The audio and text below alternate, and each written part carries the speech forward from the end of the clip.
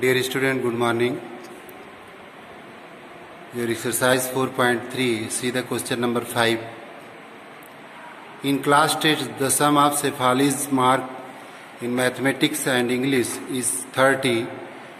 Had she got 2 marks more in mathematics and 3 marks less in English, the product of their marks would have been 210. Find her marks in two subjects.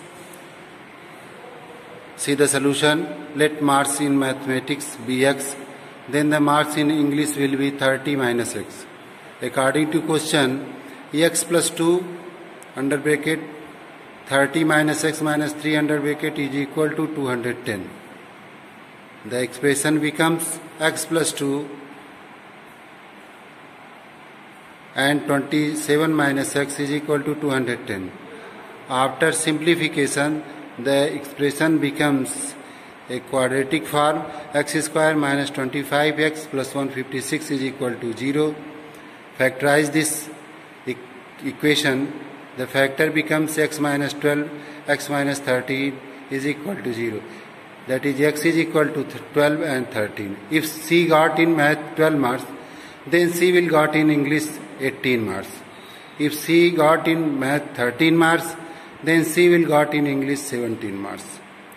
See the question number 7. The difference of squares of two numbers is 180. The square of the smaller number is 8 times the larger number. Find the two numbers. See the solution. Let the larger number be x and the smaller number be y. According to question, x square minus y square is equal to 180 and y square is equal to 8 times x. So x square minus 8x is equal to 180. The, this equation becomes x square minus 8x minus 180 is equal to 0. Factorize this quadratic equation. The factor becomes x minus 18, x plus 10 is equal to 0. The value of x will come x is equal to 18 and x is equal to minus 10. Minus 10 it is not possible because no any marks in negative. See, since y square is equal to 8x, then y square is equal to 8 into 18, then y is equal to plus minus 12. So y is equal to 12. So the two numbers are 18 and 12. Dear students, see question number 9. Two water tap together can fill a tank 9 and 3 by 8 hour. The tap of larger diameter takes 10 hours less than smaller tap. Find the time in which each tap can separately fill the tank. See the solution. Let the smaller tap take the time to fill the tank is equal to x hour.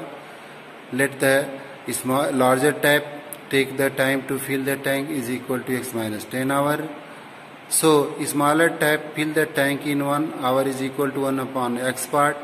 And larger tap fill the tank in 1 hour is equal to 1 upon x minus 10 part. Since both tap fill the tank is equal to 9 and 3 by 8 hour that is 75 by 8 hour.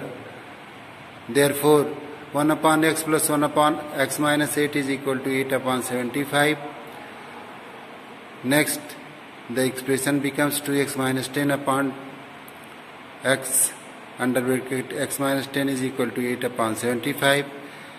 After the simplification, the expression becomes a quadratic equation 8x square minus 230x plus 750 is equal to 0. After simplification, the factor becomes x minus 25 and 8x minus 30 is equal to 0. So the value of x that is x is equal to 25 and 30 upon 8. 30 upon 8 it is not possible. So time taken by smaller pipe is equal to 25 hour and larger pipe 25 minus 10 that is 15 hour. This is the solution of question number 9. See the solution of see the question number 11 see the solution let the side of first square be x which is larger and side of other square be y which is smaller according to question x square plus y square is equal 468 this is the first equation.